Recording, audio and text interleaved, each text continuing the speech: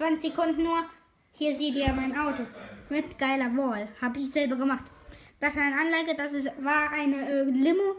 Aber so habe ich es jetzt gemacht. Das war die eine Mädchenlimo, äh, Hochzeitslimo. Und da kommt der Bass raus.